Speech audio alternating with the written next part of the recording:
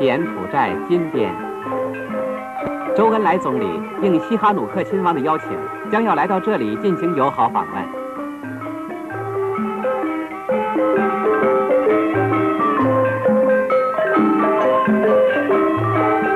金边披上了美丽的新装，到处洋溢着欢腾友好的气氛，准备热烈欢迎中国贵宾。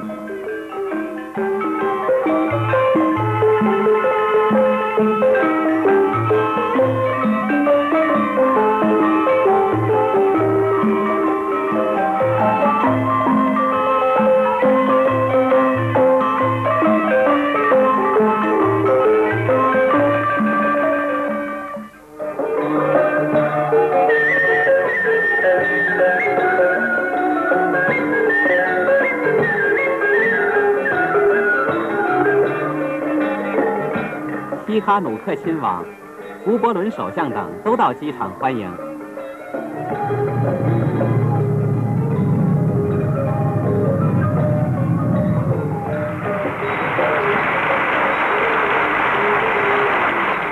五月五日，周恩来总理、陈毅副总理及随行人员到达金边，受到西哈努克亲王、吴伯伦首相和成千上万的群众热烈的欢迎。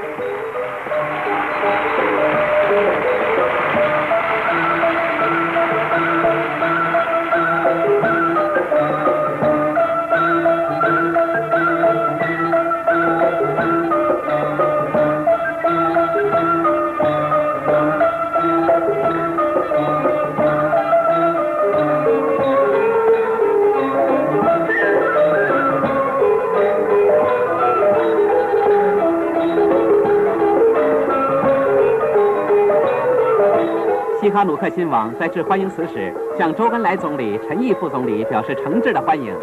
他感谢中国人民给柬埔寨人民慷慨和有用的援助，和对他们和平中立政策的一贯支持。周总理在致答词时说：“一千多年来，我们两国人民一直友好相处，但是从来没有像今天这样亲密。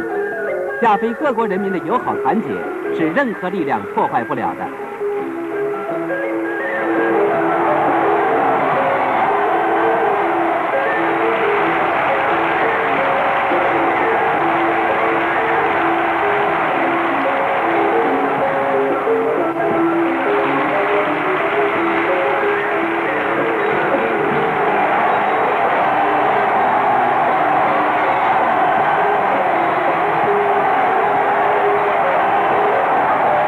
十多万群众在长达十公里的道路两旁夹道欢迎。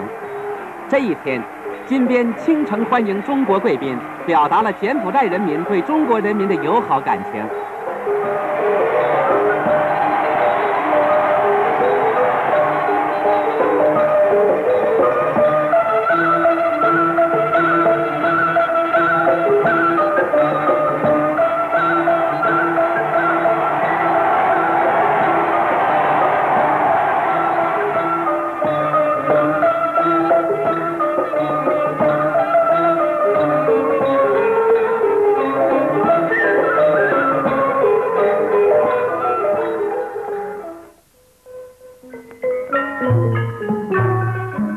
天，周恩来总理、陈毅副总理拜会了西哈努克亲王、福伯伦首相，并且进行了友好交谈。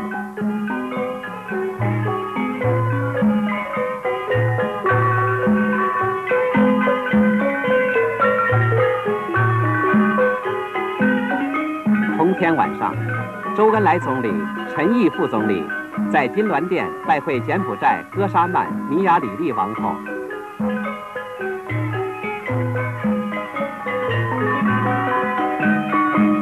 周总理对苏拉马里特国王的不幸逝世表示哀悼，并对王后致以慰问。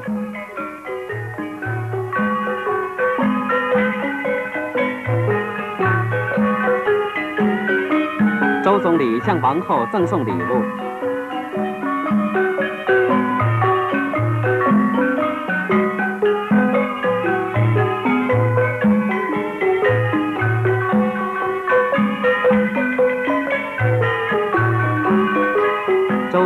和陈副总理在国王的灵前献花圈并默哀。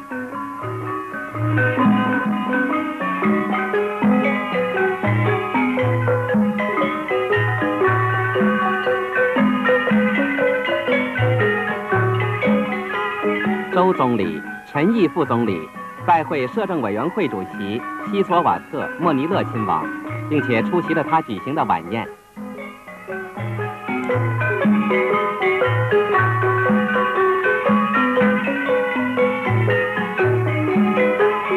柬埔寨王国政府设盛大宴会，招待周恩来总理。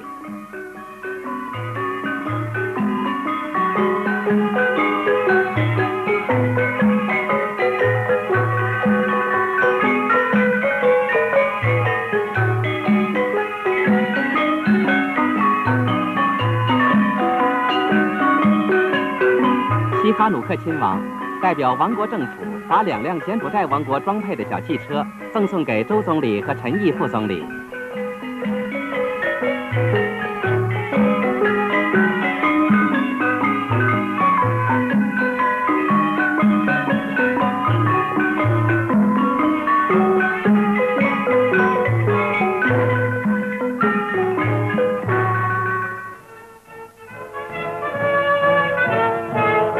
五月六日，高棉王家社会主义青年团举行盛大集会，欢迎周总理和陈毅副总理。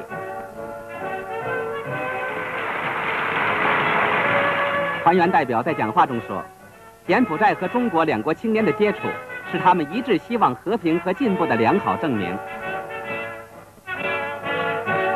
周总理和陈毅副总理在讲话中，鼓励柬埔寨青年努力建设祖国。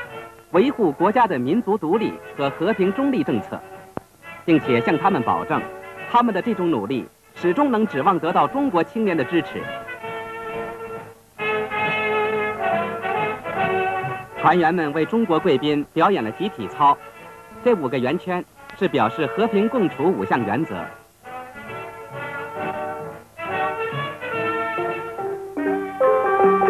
五月六日。周总理为柬埔寨皇家电台的开幕举行剪彩。这个电台是周总理第一次访问柬埔寨时送给西哈努克亲王的礼物。周总理表示，希望这个电台将成为传播和平、自由和独立之声的有力工具。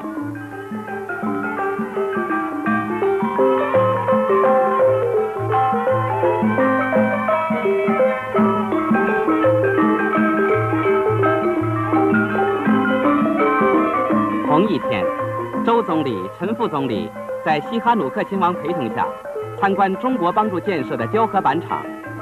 这个厂的机械设备都是中国提供的，投入生产后，每年能生产九十万平方米胶合板。五月七日，柬埔寨棒站皇家纺织厂举行象征性开幕典礼，请周总理剪彩。这座工厂也是中国帮助建设的。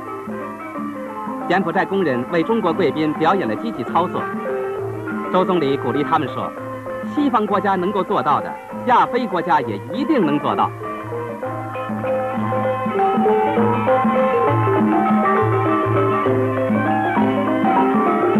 纺织工人们将他们的第一批产品送给中国客人，作为纪念。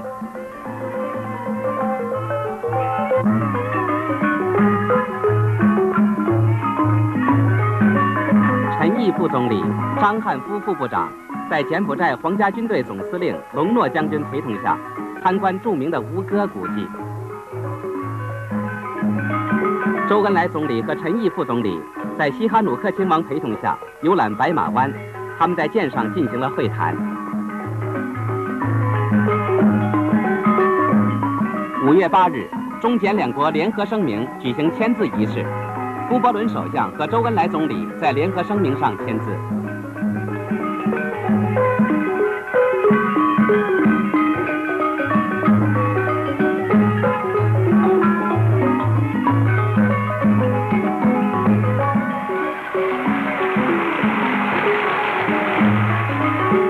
签字以后，胡伯伦首相和周恩来总理向等候在王宫外面的群众宣读了联合声明。